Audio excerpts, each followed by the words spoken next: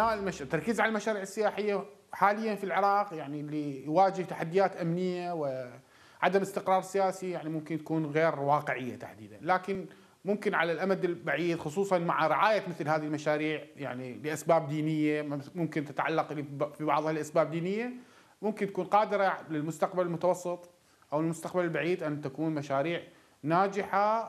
تنفيذ مثل هذه المدن سيسهم كثيرا في فتح مجالات عدة منها امتصاص البطالة الموجودة فضلا عن يعني آه، آه، توافي إيرادات مختلفة للبلد وبالتالي ستسهم أيضا في آه، رفع المستوى المعيشي للفرد الموجود في محافظة ديقار. اور تستحق الكثير بوصفها مدينة تعايش سلمي وحوارية أديان كبيرة مما يخفف من وطأة الخلاف ربما عن طريق الحوار حوار الأديان وأيضا لإبراز دور أور التاريخي العظيم آه، ذو السمعة العالمية الكبيرة. فنأمل حقيقة أن يتم هذا المشروع وينجح ويكون مثيلا له في بقية المحافظات ليكون موردا مهما سياحيا آثاريا آه، للعراق. بحاجة نحن إلى بناء منشآت أخرى مرادفة لما آه، للمعالم السياحية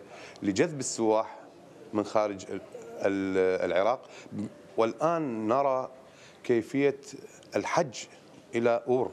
أصبحت المدينة إذا آه، قاب قوسين أو أدنى من مصاف المدن العالمية التي يقصد لها للزيارة الدينية والسياحية.